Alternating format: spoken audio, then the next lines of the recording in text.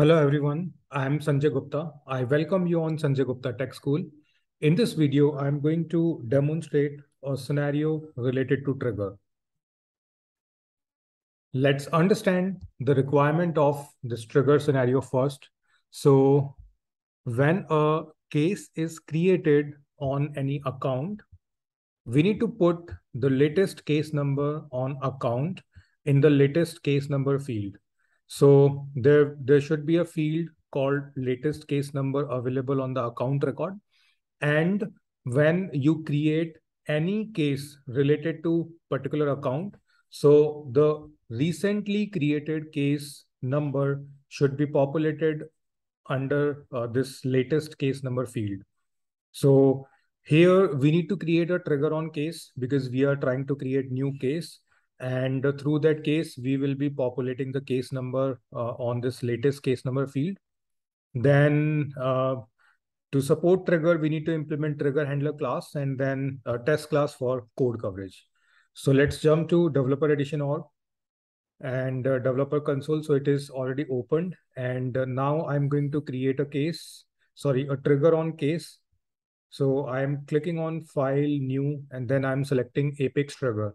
So if I click on this, okay, let me first check whether on case there is any trigger or not. So if you want to do it from the UI, so you can just search for case object. And uh, here you can see the trigger. So right now we don't have any trigger. So I'm going to create new trigger, naming it as case trigger and it will be on the case object. So I'm selecting case as an object. Now, when a, a, case will be created, so we just need to populate the case number on account. So we need to update the account uh, in this uh, triggers business logic. So instead of before insert, I will be using after insert event because I just need to update the account. So once case is saved, then uh, case number I will be using to update the account records. Now here I will be calling the method. So case trigger handler dot populate latest case number. And from here, I will be passing trigger dot new. So whenever we create any case or any new records, so those new records will be available in this trigger.new context variable. Now I need to create new Apex class. So its name will be case trigger handler. Right. So this is this is part of best practice whenever you create any trigger. So don't write business logic in the trigger. Instead, create a trigger handler class, and inside this class, you can write the business, business logic in particular method. So here I'm going to use this method public static void. Name of this method is populate latest case number. And here we need to receive list of case and case list, right? Now here inside this method, I'm going to write the business logic. So First of all, I am creating a list of account named as ACC list. After creation of this list of account, I'm going to iterate a loop on case list.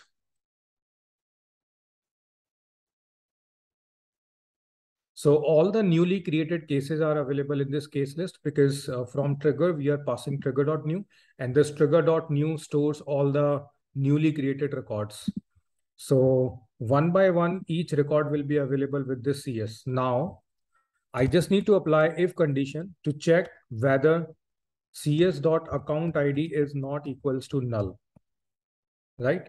So if you create a case and if that case is not linked with any account, so in that case, there is no need to put latest case number on the account because your case is not related to any account. So if cs dot account ID is not equals to null, it means that particular case is related to particular account. So if this condition is true, then what you can do, you can create a new instance of account. And in this instance ID, you can store the cs dot account ID. So it means this particular account we need to modify and uh, I'm just going here under the object manager. And uh, if I open the account fields and relationship, so I already created a field that is latest case number. So when you will be implementing this demonstration, so remember under account object, you need to create this latest case number field of type text. So I'm going to use it here. So latest case acc dot latest case number equals to, and now I need to populate cs dot case number, right? So case number will be stored in this latest case number field. And uh, now I can add this instance ACC to the list. Right. So this way, one by one, each case will be iterated and it will be checked whether it is linked to account or not. If it is uh, linked to account, then only uh, this logic will be executed. And uh, whichever account we need to update, those account records will be added into this ACC list. Now, after completion of this for loop, we need to check null for this ACC list because it may possible like you created only one case and that is also not related to any account. So in that case, this ACC list will be null. So you can check ACC list for is empty. If it is not empty, then you can write update ACC list. So remember, you need to write update because accounts are already there. You are creating case, but they are uh, linked to accounts which are uh, already there. So in that case, you just need to update those existing account records. So this way, uh, this case trigger handler is implemented and this method populate latest case number is having all the business logic. And this method we are calling here. Now, after saving trigger and trigger handler, I'm just jumping to the UI.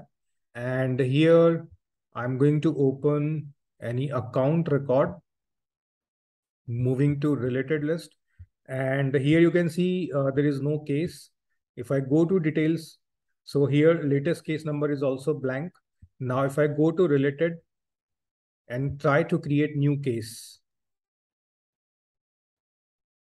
So here you can see some required fields are there, status, case origin. So you can put some values and uh, just click on save. So 1039, this is the case number which is created right now. If I go to details, so here you can see latest case number is populated. Now, if I go and create one more case, and also notice like in my org, these two uh, record types are created. If in your org record types are not av available, so you can just ignore because uh, these options won't be there. Uh, automatically, you will see this form. So I'm creating one more case. So it is 1040 and uh, on account record, you can see uh, latest case number is updated automatically. So that is because of this trigger that we implemented here. So now after implementation of this trigger, we need to implement its test class. So what we did, we just created a trigger on case. We created trigger handler class. Now we need to implement test class for code coverage. So now I'm going to implement that. So I am creating new Apex class. And as per part of best practice, your test class name should be uh, like case trigger handler because it is your uh, trigger handler class name and followed by test so that you can uniquely uh, identify these classes. And whenever you implement any test class, so it should be annotated as at the rate is test. Then if you define any method, so that method should also be annotated with at the rate is test and then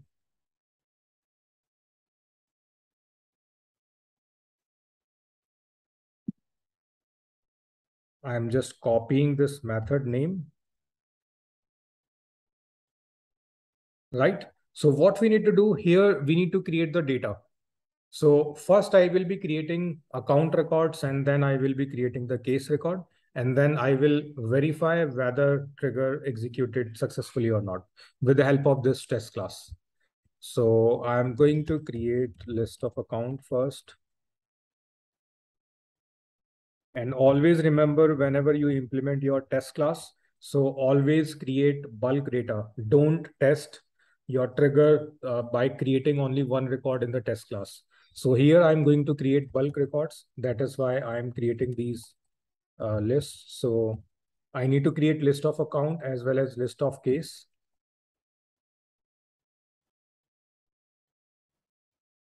Now I'm going to implement a loop.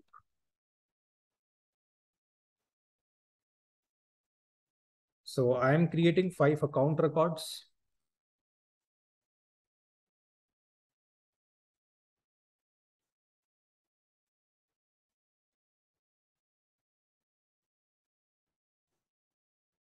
And uh, after that, I can just add all these accounts into the list. Then I'm writing insert ACC list. So uh, this account will be inserted. Now I'm going to iterate on this account list that we inserted right now.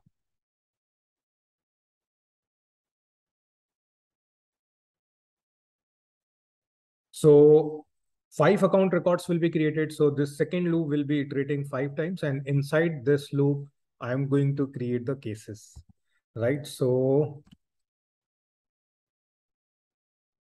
so case CS equals to new case, then we need to populate the values to the required field. So if I try to create new case, So here you can see status and case origin. Two pick lists are available which are uh, required. So case status and case origin. Uh, let's check the API name of these fields. So first I'm searching for status. So it is status. So I'm just copying it and pasting it and populating new. Then another one is case origin. So let's check the API. Uh, it is origin. So here I am writing cs dot and equals to phone. Right now I need to populate account ID as well. So this I am picking as acc.id, then adding this CS into case list. And now this loop is completed. And after completion of this loop, what I can do, I can write test dot start test. Inside this, I can write insert case list, then test dot stop test. So uh, when I will be inserting case list, so what will happen? Trigger will be initiated and uh, it will be executing the business logic. So whenever you apply DML in your test class, so what you can do, you can just cover that into uh, start test, start test and stop test so that whenever that insert DML will be performed, so a fresh set of governor limits will be there. So for example, in your test class, if you have two different methods, so for uh, both the methods, separate governor limits will be there if you use uh, DML statement inside this start test and stop test right? So it is not mandatory, but it is part of best practice. Now, uh, when case will be inserted, so we need to check uh, on these account records whether uh, latest case number is uh, available or not. So what I can do,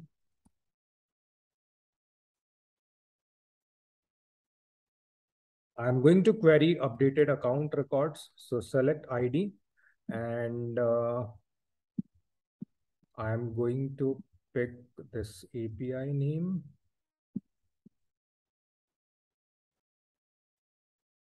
Then from account,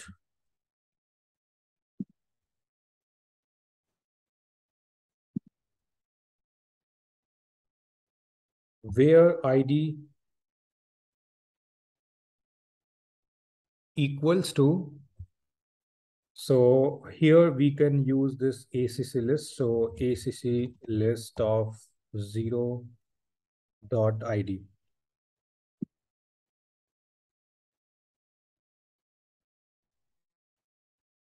And here I need to put colon as well, right? So in this list, five account records are available. So I'm just picking the first one. And this first one, latest case number, uh, I am just querying. And then I'm going to apply system dot assert equals, right? So here, what I'm going to do, uh, I'm going to write case list of zero dot case number, comma, updated ACC of zero dot latest case number, right? So this way I'm trying to compare both. So case list of zero, uh, case number. So first record in this case list, uh, case number should be available in the uh, this updated uh, accounts zero dot uh, case list number, right? So if it match if it matches, it means your assert is passing.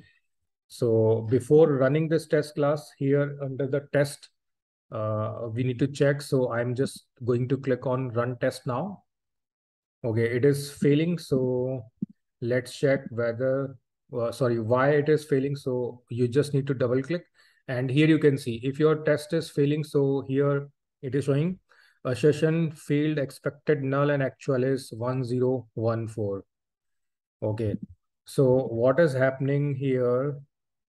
This case list of uh, zero dot case number. Okay, so basically uh, your uh, this account is updated with the latest case number, but this uh, case list is not having that uh, case number. So uh, it means it is working fine. So what we can do, we can just query uh, these records as well, because after insertion, that case number will, will be generated. So this list is not having that case number. So what I can do